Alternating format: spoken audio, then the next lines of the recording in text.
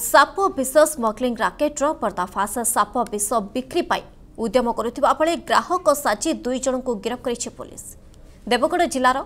ସ୍ୱତନ୍ତ୍ର police team ଏହି ଚଢ଼ାଉ କରିଥିବା ଜଣାପଡ଼ିଛି ଚଢ଼ାଉ ସମୟରେ ଏକ କେଜି ସାପ ବିଷ ଜବତ କରିବା ସହ ସମ୍ବଲପୁର ଜିଲ୍ଲାର ଦୁଇ ଜଣଙ୍କୁ ଗିରଫ କରାଯାଇଛି ଗିରଫ ଅଭିଯୁକ୍ତମାନେ ସମ୍ବଲପୁର ସାକ୍ଷୀପଡ଼ାର ରଞ୍ଜନ କୁମାର ପାଢ଼ୀ ସିନ୍ଦୁରପଙ୍କ ଗାଁର କୈଳାସ ଚନ୍ଦ୍ର ସାହୁ ଜବତ ବିଷର ଆନୁମାନିକ ମୂଲ୍ୟ পাখাপাখি দেড় কোটি টঙ্কা ହେବ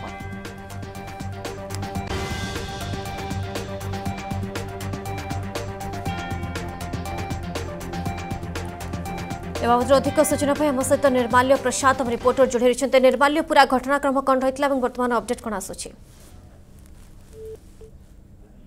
যে সাপ বিষ অভিযোগে দুই জন অভিযুক্ত গিরফ করছে দেবগড় স্বতন্ত্র পুলিশ চঢ় সময় একক সাপ বিষ জবত করেছে ତ ଏ ବିଷର ଆନୁମାନିକ ମୂଲ୍ୟ ପ୍ରାୟ ଦେଢ଼ କୋଟି ଟଙ୍କା ହେବ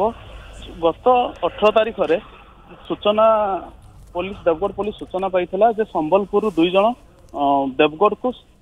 ସାପ ବିଷ ବିକ୍ରି କରିବା ପାଇଁ ଆସିଥିଲେ ଆସୁଥିଲେ ସେହି ସମୟରେ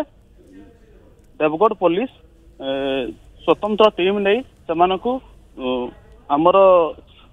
ସାକ୍ଷୀପଡ଼ା ସାକ୍ଷୀପଡ଼ାରେ ଆମର ଯେଉଁ ସାକ୍ଷୀପଡ଼ା ନିକଟରେ ସିନ୍ଦୁରପଙ୍ଗ ସିନ୍ଦୁରପଙ୍ଗ ଗାଁ ପାଖରେ ସେମାନଙ୍କୁ ଗିରଫ କରିଥିଲା